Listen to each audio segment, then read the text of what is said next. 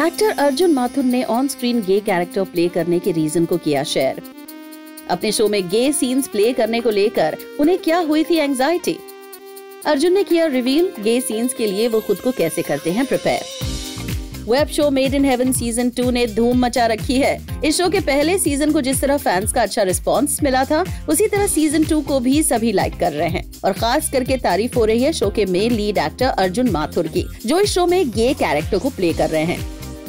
और हाल ही में एक इंटरव्यू के दौरान अर्जुन ने रिवील किया कि उन्होंने गे कैरेक्टर को प्ले करने का फैसला क्यों लिया। There is like there is nothing that's what resonated with people that there is nothing in this character that needed any prep it needed me it needed it needed a male man masculine and there was no prep required to be that simple इस show में अर्जुन ने कुछ gay scenes को boldly play किया है और वो इतने नेचुरल और कॉन्फिडेंट इन सीन्स में नज़र आए हैं कि लोग जानना चाहते हैं कि एज एन एक्टर वो किस तरह इन सीन्स के लिए खुद को प्रिपेयर करते हैं। और अर्जुन ने रिवील किया इट्स नॉट इजी अर्जुन का कहना है I mean that's what they are when I read a script those are the scenes that like immediately I see them as like, oh god, okay, I see that. And it like starts giving me a bit of anxiety, like from the first time that I read it. And on the day, it's like, man, you just don't know. You don't know really what's going to happen, whether it's going to come or not come. But the work that it takes from me is a little personal.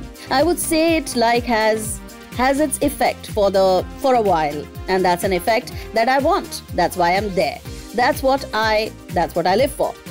आगे अर्जुन ने इन scenes पर बात करते हुए ये भी कहा it's really personal you know to some of emotional of my own I am actually I was saying this to somebody else the other day that I am not particularly during these emotional scenes I am not performing for an audience I am doing it for myself to be very honest with you I am using it very selfishly to catharsis so yeah it's therapy well well, Arjun Mathur का ये character है काफ़ी bold और progressive लेकिन बहुत कम ही ऐसे actors film industry में हैं जो इस तरह के बोल्ड रोल्स को एक्सेप्ट करेंगे।